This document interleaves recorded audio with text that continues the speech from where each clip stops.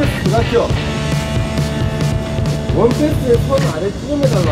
내 기술을 쌓아서 나가는 겁니다. 자, 킥패스 이제 마지막 셀패스는 이 문제와 이 기술을 겹쳐서 매끄럽게 확장 방법을 만들어야겠죠. 얘가 만약에 되어 있다. 그러면 본인 속도가 일정치 않거나 아니면 전류장을 같은 일정치 않은 겁니다. 자, 이제 마지막 셀패스 들어갑니다.